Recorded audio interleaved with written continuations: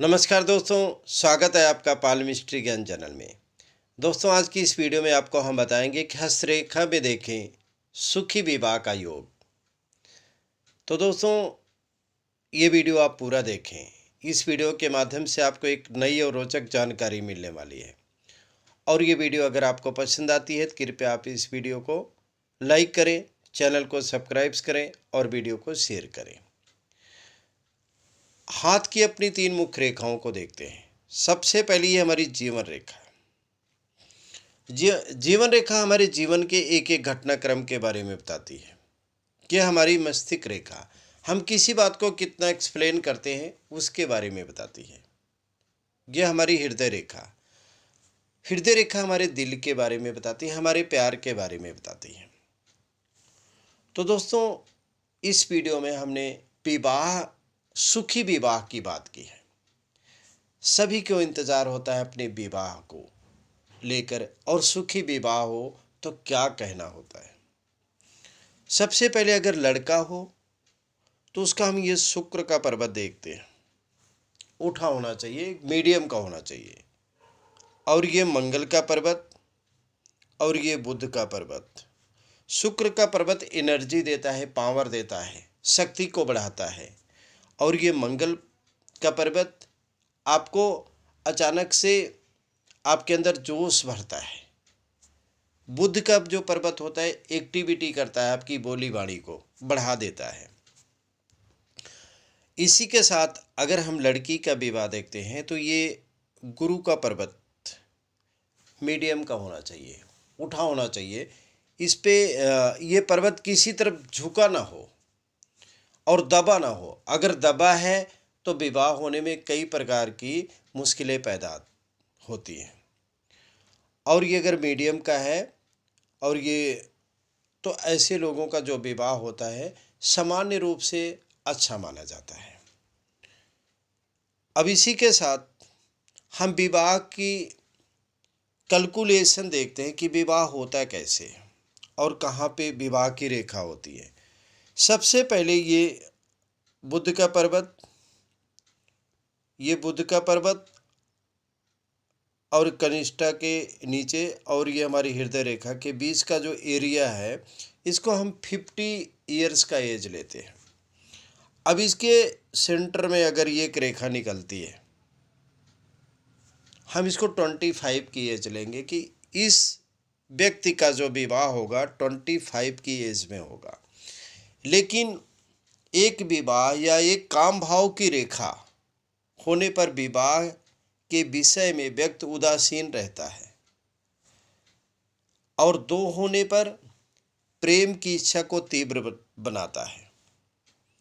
या तीव्र होती है।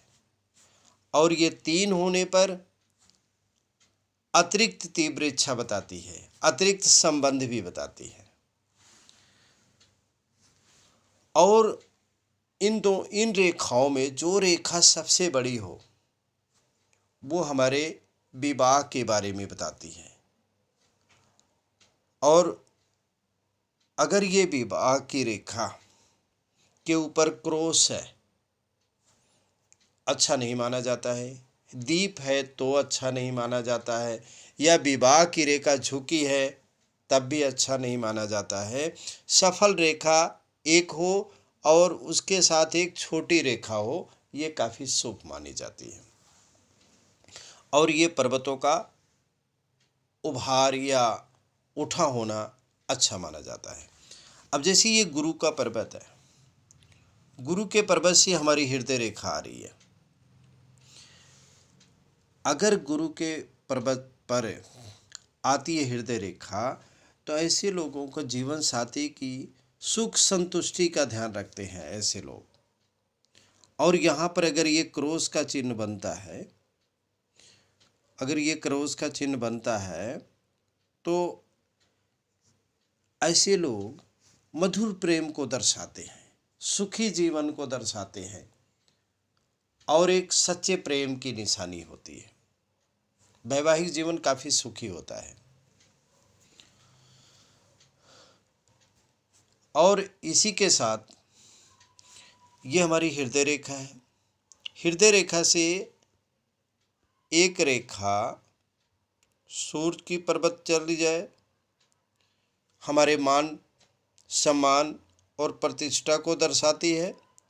एक हमारी भाग रेखा के ऊपर चली जाए तो हमारी ये धन के बारे में बताती है, हमारे सौभाग्य के बारे में बताती है। अगर ये गुरु की तरफ़ चली जाए तो ऐसे लोगों का जीवन जो होता है, सौभाग्य की दृष्टि से, धन की दृष्टि से काफ़ी सुखी सुखी वैवाहिक जीवन होता है। अब इसी के साथ एक और देखते हैं शुभ चिन्ह जैसे कि ये हमारी भाग रेखा भाग रेखा से एक रेखा, हमारी ये चंद्र के क्षेत्र से एक रेखा, हमारी इस भाग रेखा में मिलती हो मिलती हो। काटती ना हो, काटने का मतलब अलग हो जाता है। अगर मिलती है शनि रेखा में, हमारी भाग रेखा में तो मिलने का जो स्थान होगा या विवाह का वो समय होगा, या प्रेम का समय होगा। इसी तरह से अगर ये शुक्र के पर्वत से एक रेखा इसमें मिलती है, ये भी विवाह के समय के बारे में बताएगी और प्रेम के समय के बारे में बताएगी। अगर यही कोई हम बिज़नेस की बात करते हैं तो बिज़नेस के बारे में भी बताती है। लेकिन अगर यहाँ शुक्र के पर्वत पर एक स्टार बनता हो स्टार पूर्णता कंप्लीट होना चाहिए। कि कंप्लीट होना चाहिए। अगर कंप्लीट स्टार है तो ऐसे लोगों का जो विवाह होता है ना, काफ़ी धनी परिवार में होता है। एक बार हम आपको स्टार प्रॉपर बना के दिखा देते हैं। ये प्रॉपर बनता है। और एक विवाह रेखा से, अब विवाह रेखा से एक रेखा इस हमारे सूर्य के पर्वत पे मिल जाती हो। इस सूर्य के पर्वत, ये सूर्य की रेखा में मिल जाए, या सूर्य रेखा को काट दे, या उससे मिली जाए तो ऐसे लोग ऐसे लोगों का जो विवाह होता है, किसी विशिष्ट, अत्यधिक प्रसिद्ध व्यक्ति के साथ विवाह होता है। तो दोस्तों, ये रही आज की हमारी वीडियो। ये वीडियो अगर आपको अच्छी लगी तो आप इसे लाइक करें, चैनल को सब्सक्राइब करें और वीडियो को शेयर करें। और आप सबका पूरा वीडियो देखने के लिए बहुत बहुत धन्यवाद।